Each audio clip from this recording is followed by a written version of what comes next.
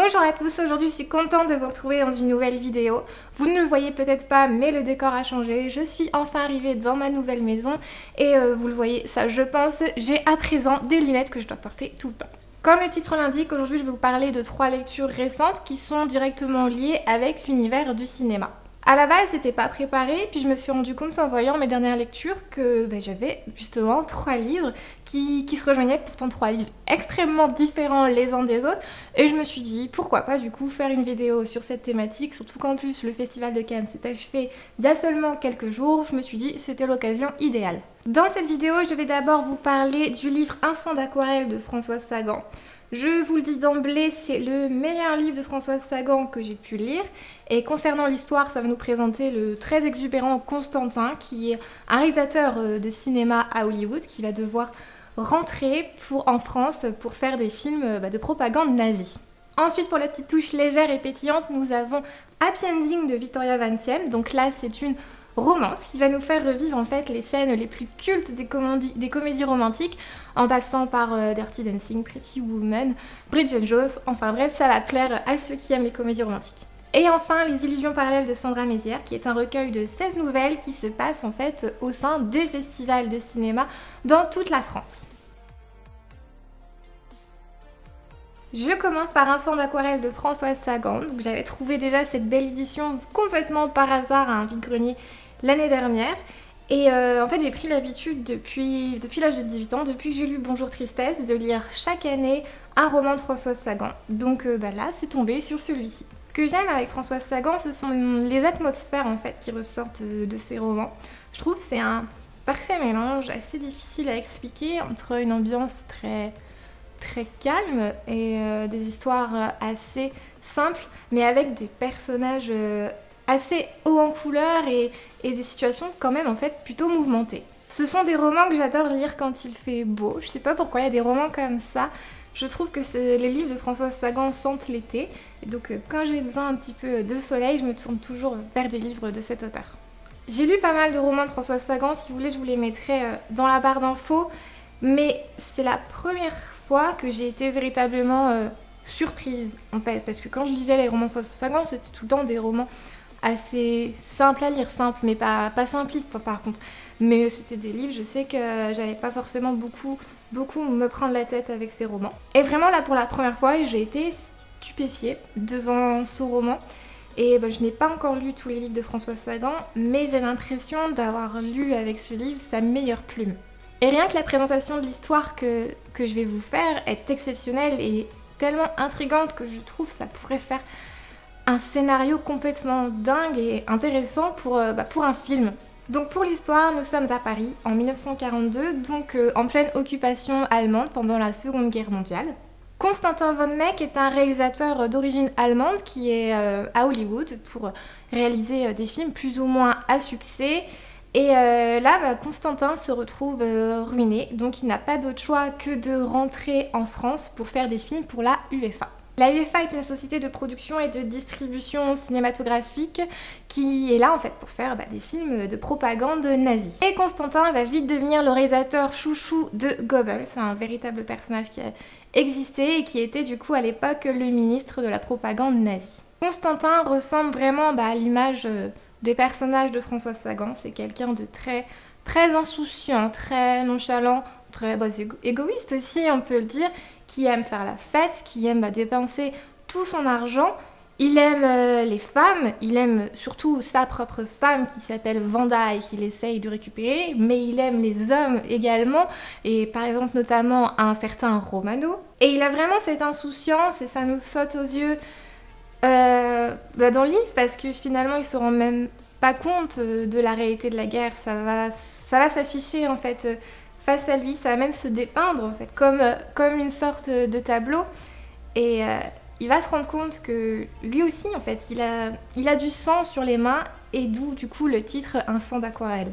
Le livre va se terminer sur une fin complètement hallucinante, donc je ne vais pas vous la raconter, vous inquiétez pas, qui m'a mais complètement euh, stupéfiée, et je m'y attendais pas, et j'ai trouvé que c'était du début à la fin un livre complètement dingue et que j'ai dévoré très très très vite. C'est un livre très différent de ce à quoi j'étais habituée avec euh, Françoise Sagan, autant du point de vue de, l'écriture que de l'histoire. C'est très riche, c'est assurément pour moi, je trouve, son roman le plus abouti.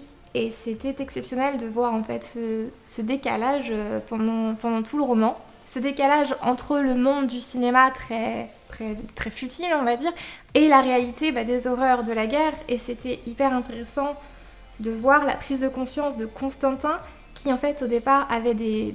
sa caméra en fait euh, en guise de hier. La psychologie des personnages est si bien retranscrite qu'au final on arrive à comprendre Constantin, on arrive à comprendre son, son envie en fait vraiment de, vivre sa, son insouciance. Et on comprend, il vit dans l'exaltation des sens, mais au fond il ressent vraiment un profond mal-être et une grande solitude qui le rend quand même euh, très attachant.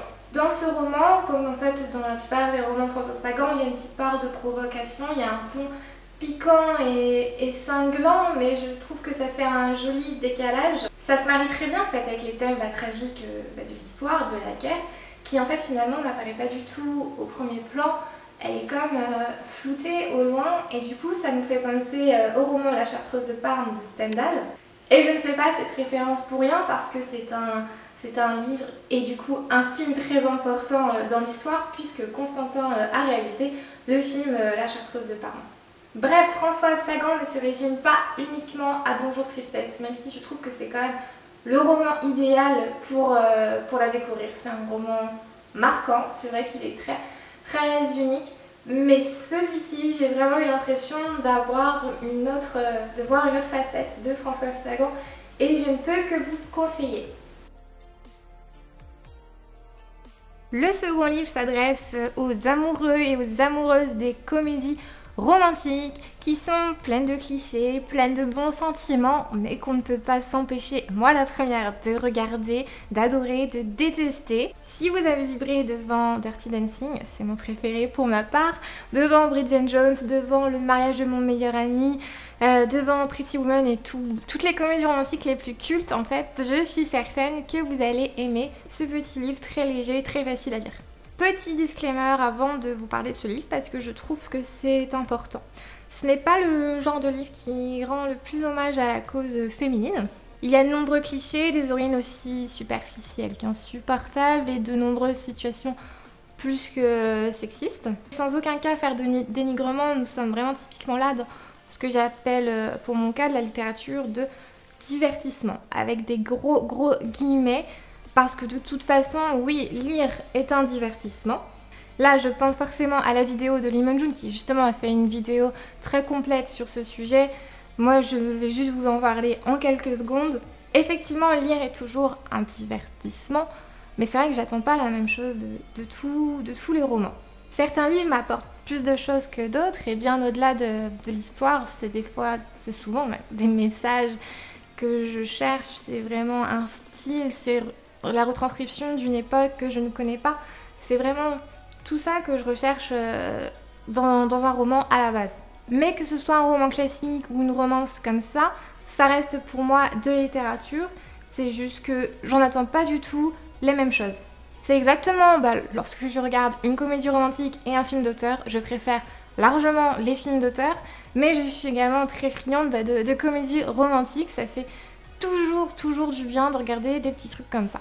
Donc n'y voyez vraiment pas de snobisme euh, lorsque je parle, parce que ça m'arrive souvent, de lecture légère, de lecture de piscine, de plage, de lecture détente, parce que en fait, pour mon cas à moi, c'est vraiment ce que, je vais lire quand j'ai vraiment envie de relâcher la pression, que je veux juste vraiment complètement euh, lâcher prise, me détendre. Par contre, et ça je peux pas y échapper, je suis de plus en plus gênée, plus, plus je lis des trucs comme ça, en fait plus je suis gênée par euh, bah, des, clichés, des stéréotypes qu'on nous ressort tout le temps.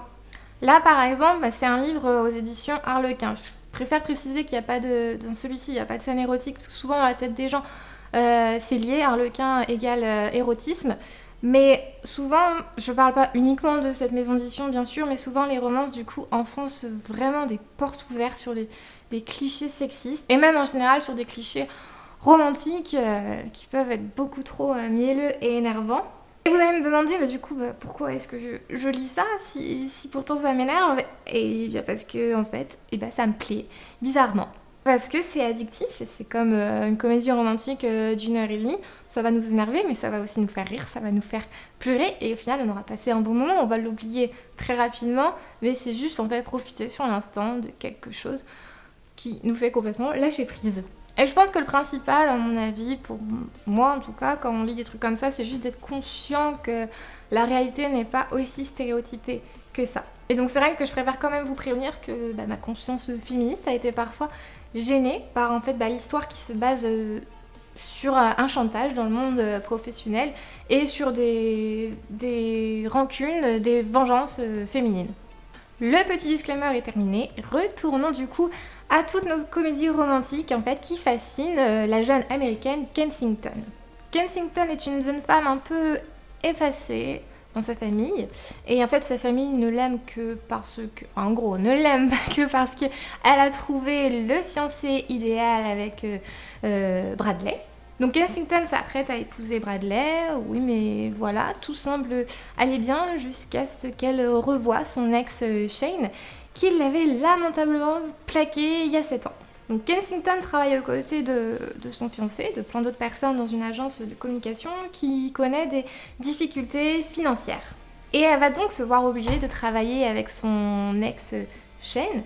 Et euh, lui, en fait, il va un peu bah, la manipuler pour euh, accepter de signer le contrat de Kensington.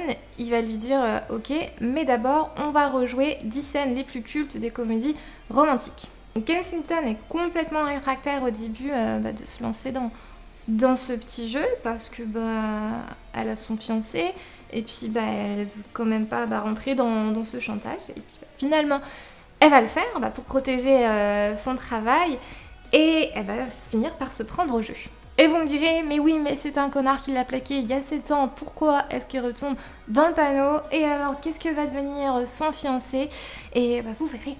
Donc rien de révolutionnaire avec euh, ce livre. Bah, l'histoire, elle est originale euh, avec bah, cette histoire qui va s'inspirer de toutes les comédies romantiques bah, les plus célèbres, qu'on va retrouver du coup dedans. Et c'est vraiment un livre qui m'a donné envie, je pense que je vais, je vais l'organiser, hein, de faire vraiment un week-end entier pyjama party, comédie romantique, popcorn, karaoké, tout ce que vous voulez. C'est frais, c'est pétillant, c'est aussi attendrissant, ça nous montre l'amour euh, comme au cinéma.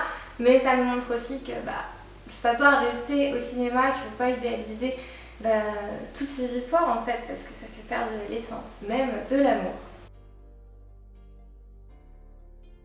Le dernier livre dont je vais vous parler, c'est Les illusions parallèles de Sandra Mézières, qui est une romancière, mais également blogueuse. C'est comme ça que je la connais, une blogueuse cinéma sur euh, le blog In the Mood for Cinema, qu'elle tient depuis très très très longtemps. Et du coup, bah, grâce à ce blog. Elle est invitée chaque année à tous les festivals de cinéma. Elle a fait partie de nombreux jurys et elle a donc décidé de s'inspirer euh, de cet univers pour écrire ce recueil de nouvelles. Personnellement, c'est un univers qui me fascine et que pourtant en fait je n'ai jamais pu, vivre et c'est pas tant l'idée euh, des paillettes et des acteurs et des actrices qui me fait rêver en fait, c'est vraiment m'imaginer regarder des films toute la journée et en débattre ensuite.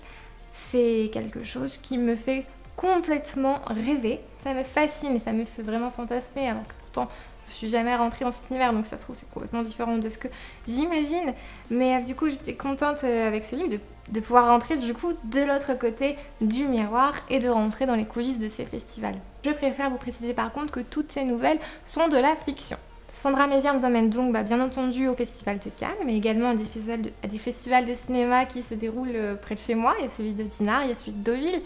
Mais il y a également du coup Paris, Cabourg, Monaco, enfin bref tous les festivals en France et ainsi que la cérémonie des Césars. Nous y croisons de nombreux personnages hauts en couleur, tous plus différents les uns que des autres, avec des histoires euh, fascinantes en fait qui feraient presque regretter le format nouvelle. Ça donne envie en fait de continuer avec eux les nouvelles bah, elles, sont, elles sont courtes, c'est le but d'une nouvelle.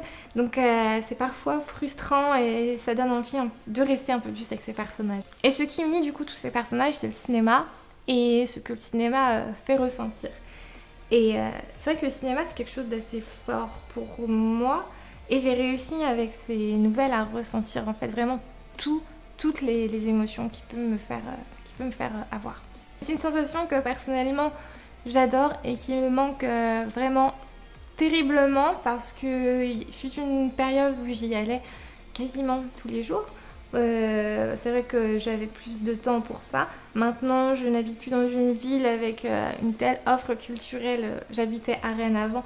C'était complètement dingue. J'avais vraiment au cinéma euh, tous les jours. J'étais étudiante, forcément. C'était plus facile. Ou alors je travaillais de chez moi, donc je pouvais m'organiser. Mais c'est vraiment l'endroit où je ressens un sentiment d'apaisement et de sérénité inégalable. Et même avec les livres, en fait, je me suis rendu compte que je n'arrivais pas à retrouver ce sentiment de, de plénitude et de lâcher prise totale que, je ressens au cinéma qui, m'ouvre en fait vraiment des, portes sur, plein de choses et qui me désinhibe totalement. J'avais donc des frissons en lisant ces, nouvelles et puis c'était agréable de sentir un peu de l'autre côté euh, du miroir, de voir un peu plus les coulisses des festivals. Et d'autant plus sous la plume de Sandra Mézière magnifique, donc euh, ça rendait vraiment hommage à ces histoires romanesques et cocasses. Et si vous aimez l'univers du cinéma, je pense que vous serez autant emporté que moi. Cette vidéo est désormais terminée, je vous retrouve très bientôt et c'est bon cette fois, je pense que je vais réussir à adopter un rythme de croisière maintenant qu'on est installé et j'ai déjà hâte de vous retrouver. Je vous fais plein de bisous et je vous dis à bientôt